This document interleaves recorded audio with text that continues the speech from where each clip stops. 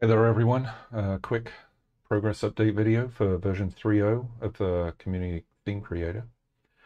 Um, I've deviated from uh, focusing on effects um, because there was an awful lot of uh, noise on the forum regarding thumbnails and thumbnails for favorites and recents. They were uh, they were being cut off. Um, so I really wanted to address it those elements are um, have never been touched since they were implemented.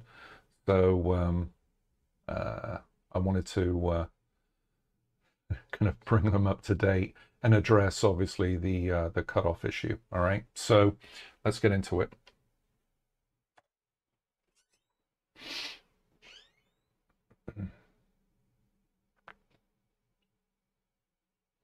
So we'll start with uh, text filters view. Uh, it's empty. We'll just go into it. All right, we'll just take the defaults. We'll move this over to the right. We'll add favorites. Here it is. It's a little bit different to what you've seen before. Let me just alter the size. All right, we'll go down to uh, a new panel for the thumbnail, uh, selected item. So I want to give it uh, a background color. Mm, kind of a muted background color. And uh, let's add curved border. And I'm going to scale the image up to, I don't know, 81%. Let's see. I think that's okay.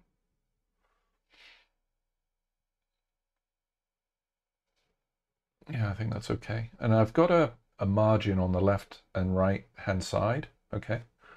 Um, if I were to remove, see, it all depends on the um, box image, um, the game uh, image for the associated platforms. Some are um, very narrow, some are very wide, depending on the on the platform. So for uh, what is it? Uh, da, da, da, NES, for example, uh, I believe they're wide. Or the PSP, they're kind of narrow. Or 3DO, they're very tall and narrow. So I wanted to allow uh, a bit of a gap on the left hand, right hand side hence the margin. Okay, so now if I add recents, okay, it's automatically inherited the same properties from favorite. Um, and I mean, you can have them at different sizes if you want. Um, it'll just look a bit odd, but regardless, um, I'm going to inherit the same size here. All right, just for consistency's sake. Now, like I said, for synchronization, I could go in to recents and change the background to green and it automatically changes favorite and vice versa. Uh, all of these properties are automatically synchronized between the two because when the code is generated, BigBox is uh, essentially pulling these properties or setting these properties in one, one location. so visually in the editor, they're synchronized. Okay. All right. Anyway, I like the blue. I am going to publish the theme. Let's launch BigBox. And I was already in here as you can see.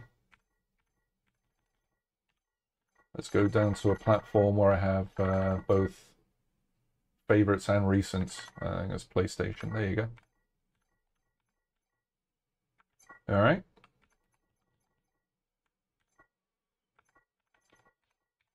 I said the 3DO was the one that had a very narrow box. Yep. Um, and then NES, I think it was, right? Yeah, just different various sizes, but it obviously considers that. Um, let's just make one more change. Let's give it a border.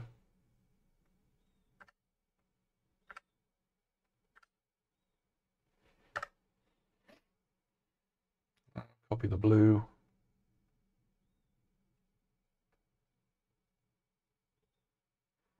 Mm-hmm. Let's make it a little bit more muted. And because we've introduced a border, I don't want the image to be kind of butting right up against the border. So we'll reduce the uh, content size. Uh,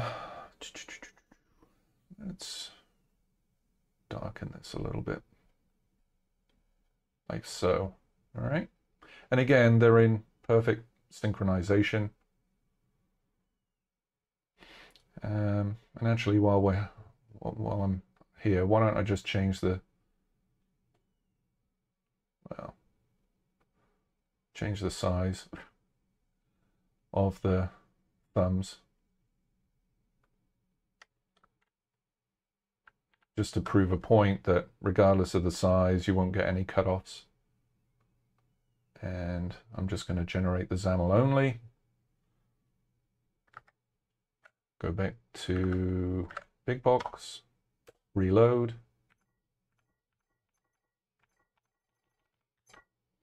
Let's go to PlayStation where I've got both. And there you go.